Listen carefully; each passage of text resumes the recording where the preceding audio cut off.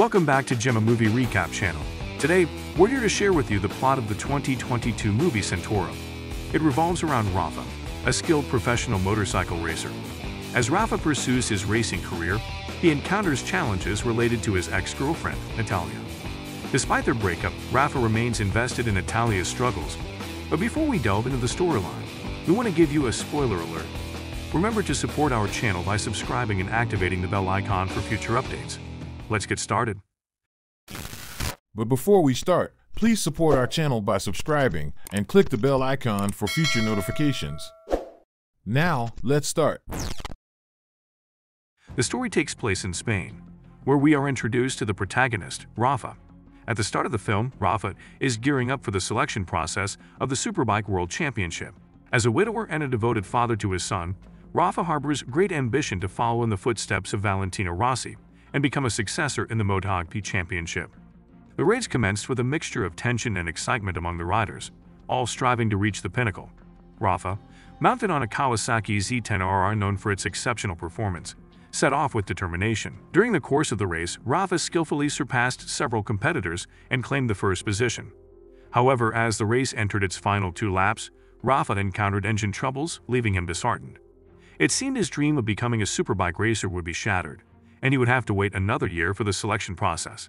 Unexpectedly, Regina, a talent scout from the Honda team, approached Rafa and extended an invitation to join their team. Grateful for the opportunity, Rafa accepted the offer, assuring Regina of his punctuality for the upcoming selection. After returning from the race circuit, Rafa, unfortunately, arrived late to pick up his son, causing his ex-wife Natalia to be upset. They had previously agreed that their son Mateo would spend the weekend with Rafa, aiming for his holistic development. Inside Rafa's home, the display of numerous trophies from his motocross and supersport championships showcased his undeniable talent in motorcycle racing. Rafa shared a video of himself on the racetrack with Matteo before returning him to Natalia the next day.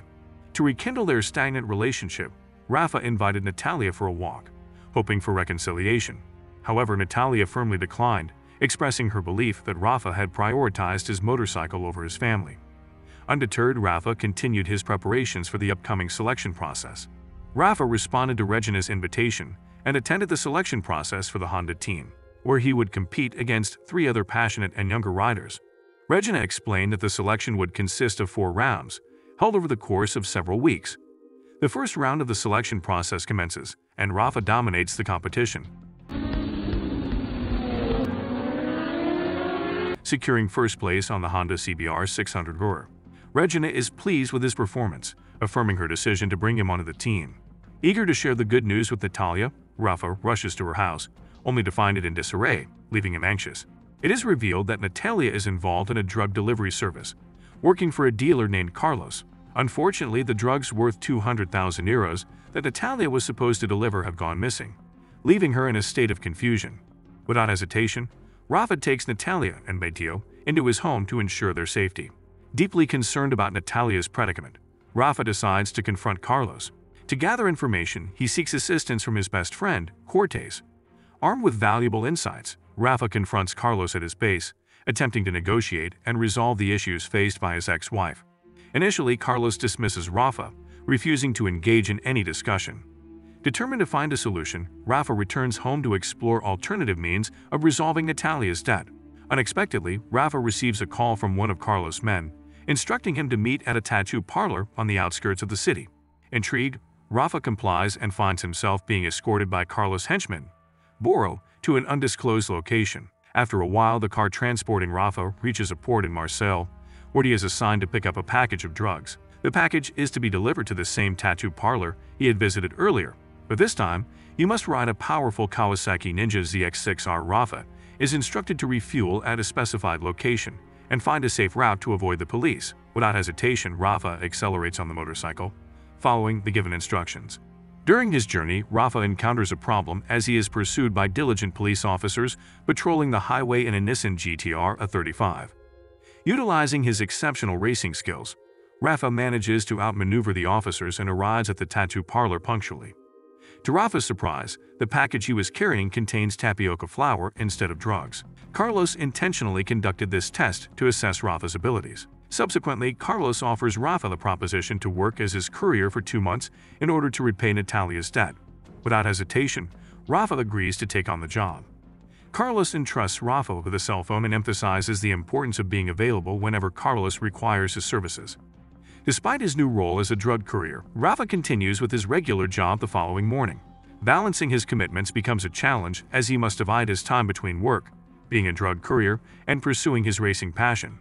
During the second round of the Honda team selection, Rafa fails to answer his phone, resulting in Boro awaiting him at the selection site.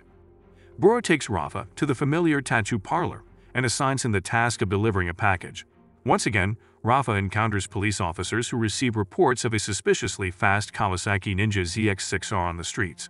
Anxious about being chased, Rafa manages to hide among parked cars and swiftly escapes using a shortcut. Arriving at Carlos' residence, Rafa expresses his dissatisfaction with the power of the Kawasaki Ninja ZX6R and requests a 1000 Kawasaki with racing tires to enhance his speed in delivering packages.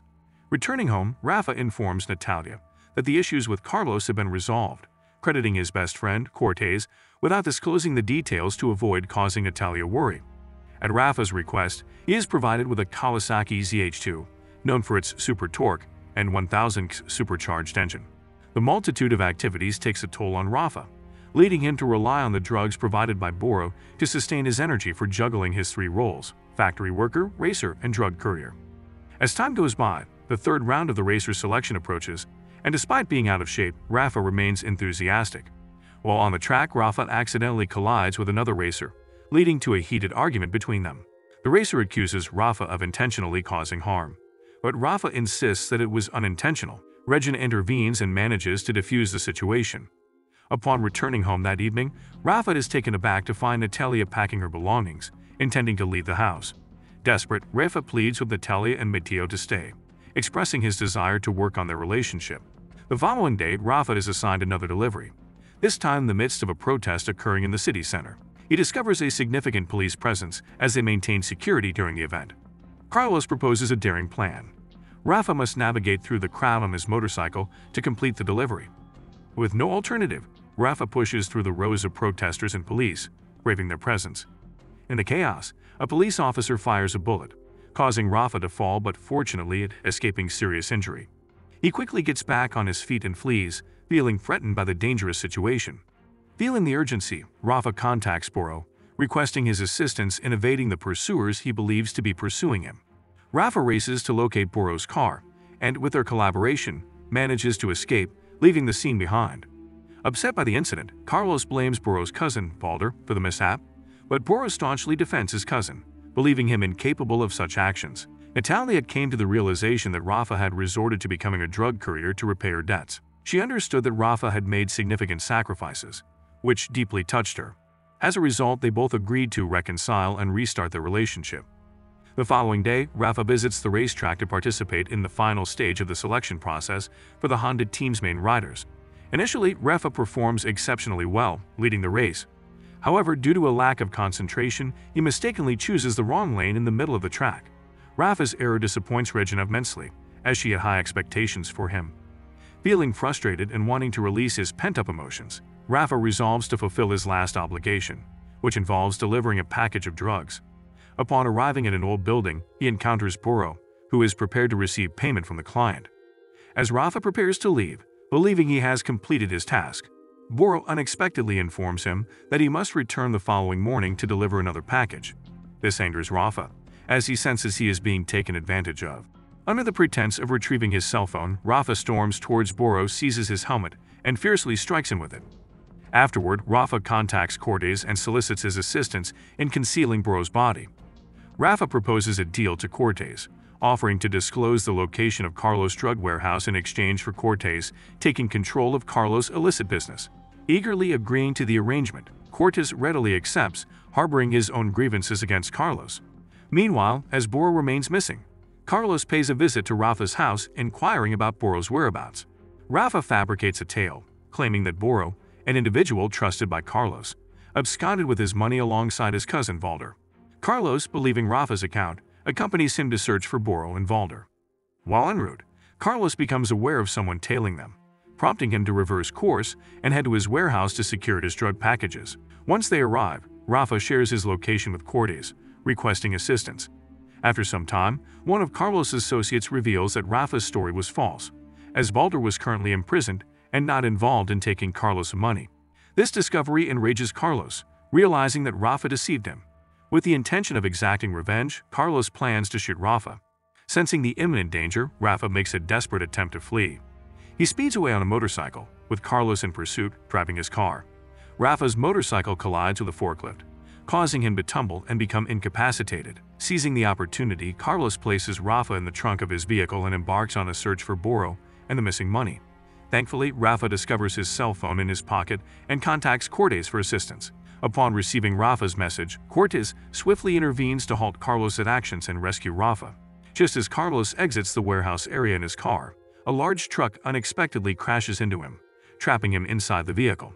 Moments later, Cortez arrives to rescue Rafa, and ultimately, he eliminates Carlos by shooting him, resulting in his demise. In the story's conclusion, Rafa manages to resolve all of his challenges and is reunited with his wife and son, paving the way for a better life. Regina extends an invitation for Rafa to rejoin her team, recognizing him as the ideal racer for the Honda team.